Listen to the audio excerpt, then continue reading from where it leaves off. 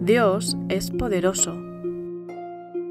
En las Escrituras podemos leer acerca de muchos momentos cuando Dios usó su poder para ayudar y proteger a su pueblo, como cuando Dios protegió a Noé y su familia.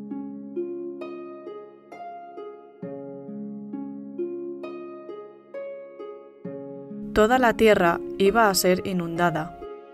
Dios le dijo a Noé que construyera un arca y pusiera animales dentro, y ellos se salvaron del diluvio. Dios también usó su poder para proteger a Daniel cuando fue echado en el foso de los leones. El rey hizo una nueva ley que decía que nadie podía orar a Dios, pero aún así Daniel oró a Dios. Cuando vieron a Daniel orando, el rey le echó a Daniel al foso de los leones para que fuera devorado por los leones. Pero Dios usó su poder para cerrar la boca de los leones, y los leones no le hicieron daño a Daniel. Por la mañana, cuando el rey se enteró de que Daniel estaba vivo todavía, el rey empezó a creer en Dios, y él dijo a todo su reino que creyeran en Dios. Dios mandó a Samuel en la manita que fuera a Zaraembla y dijera a la gente que se arrepintiera y se bautizara. Samuel tuvo que escalar arriba de una muralla para enseñarles, porque no le permitían entrar en la ciudad. Algunos de ellos se enfadaron y le intentaron golpear con rocas y flechas. Pero el poder de Dios protegió a Samuel para que ninguna de las rocas o flechas pudieran alcanzarle. Cuando la gente vio este milagro, algunos de ellos creyeron en él y decidieron ser bautizados. Dios también usó su poder para ayudar a los jareditas a cruzar el océano. Él les dijo que construyeran barcos que fueran ajustados como un vaso, para que no pudiera entrar el agua en ellos.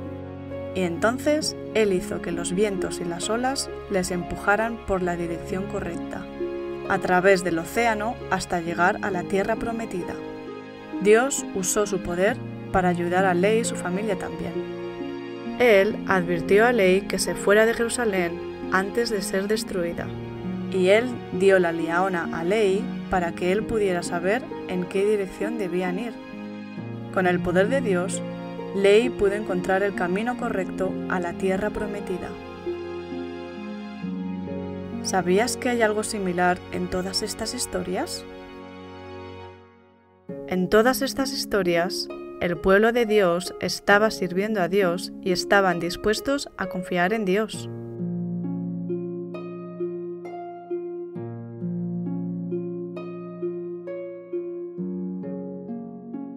Cuando Noé construyó el arca, él estaba sirviendo a Dios y haciendo lo que Dios le pedía. Noé y su familia tuvieron que confiar en Dios cuando entraron en el arca. Cuando Daniel se metió en problemas por estar orando, él estaba sirviendo a Dios y haciendo lo que Dios le pedía, y tuvo que confiar en Dios cuando fue echado en el foso de los leones.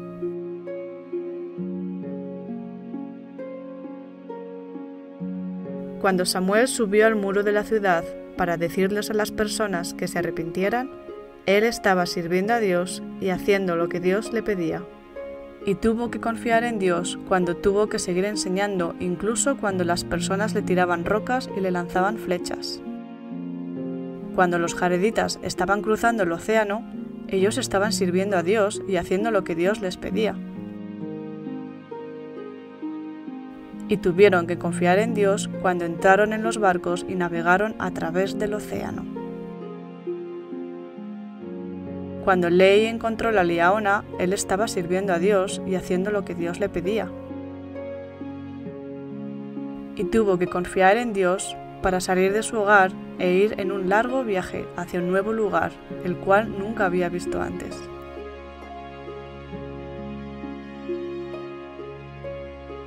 ¿Y tú? ¿Confías en Dios? ¿Puedes pensar en algunas cosas que Dios nos ha pedido que hagamos? Podemos aprender sobre ello en las Escrituras. Y si volvemos nuestros corazones a Dios y confiamos en Él, Él puede usar su poder para ayudarnos también.